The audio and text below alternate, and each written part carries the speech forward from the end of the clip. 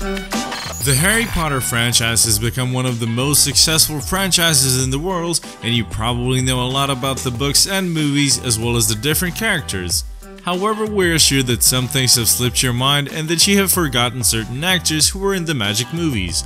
There is no need to worry though because we will gladly refresh your memory and show you 10 Harry Potter stars that you forgot about. Let's start with Frank Dillane who starred as Tom Riddle in one of his first movies in Harry Potter and the Half-Blood Prince in 2009. Unfortunately for him, his role was completed after this movie, but he has gone on to work with actors like Benjamin Walker and Chris Hemsworth in the movie In the Heart of the Sea, which tells the story of the Essex, a sinking whale ship in 1820. He has also scored a role as a drug addict Nick Clark in the TV series Fear the Walking Dead, and we will probably see a lot more of Frank Dillane in the future. Do you still remember Lee Jordan, the enthusiastic Gryffindor student with the dreadlocks who acted as a commentator for the Quidditch matches? Luke Youngblood was the one who made his character come to life in the Harry Potter films, which kicked off his acting career. He is easily forgotten though as we didn't get to see this character much in the later movies, but that did not stop Luke from landing roles on American TV shows such as Magnitude and Community and Sid on Galavant. You have most likely forgotten that Northern Irish actress Michelle Fairley played the role of Hermione Granger's mother as she makes a brief appearance that lasts only a few seconds in Harry Potter and the Deathly Hallows when Hermione obliviates her parents to remove herself from their memories. Fairley is much better known for her roles as Ava Hessington on the TV show Suits, and of course Catelyn Stark of Game of Thrones.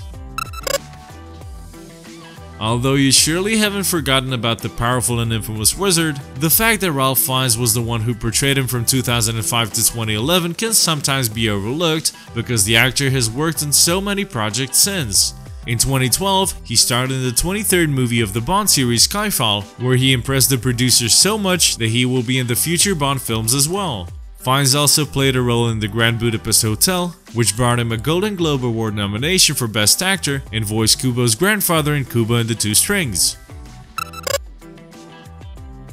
You most probably remember Harry's fellow Gryffindor student Dean Thomas, but it's often forgotten that British actor Alfred Enoch portrayed him in 7 out of the 8 movies even though he's often present, joining Dumbledore's army, and much to Harry's dislike has a brief romance with Ginny, he doesn't have many lines making it easy to overlook the fact that Enoch played the role for such a long time. Today he stars as Wes Gibbons in the American TV series How to Get Away with Murder, so it seems like someone paid attention when watching the Harry Potter films and Enoch made enough of an impression to get his career rolling.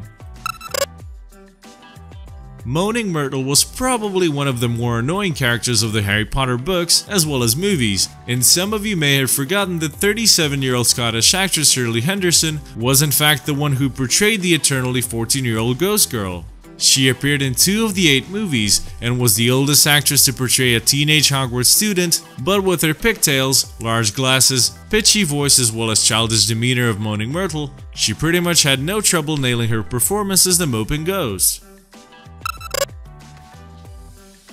John Cleese's career had been ongoing for a long time, spanning over the 20th and 21st century when he joined the Harry Potter franchise to portray the Gryffindor ghost nearly headless Nick, also known as Sir Nicholas. The popular writer, actor, producer, and comedian has portrayed many iconic characters like Robin Hood, Sherlock Holmes, and the hilarious Basil Fawlty on the British sitcom Fawlty Towers, but many hardly recognize Cleese with the long curly hair, mustache, and goatee of his ghostly character in the first two Harry Potter movies, and have since erased this role of his from their memory.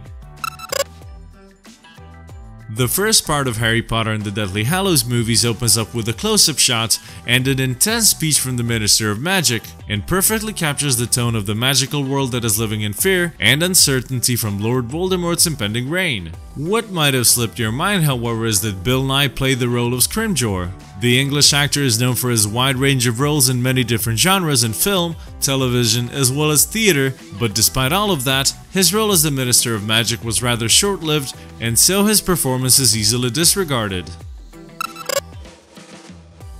Scottish actor David Tennant gave an intense but pretty brief performance as Bartemius Barty Crouch Jr. in Harry Potter and the Goblet of Fire, where the son of an influential Ministry of Magic official masqueraded as Mad-Eye Moody to manipulate the Triwizard Tournament. Therefore, we only get to see Tennant describe Jr. for a few moments at the time of his exposure, as well as in flashbacks, and so it is totally forgivable if it faded from your memory.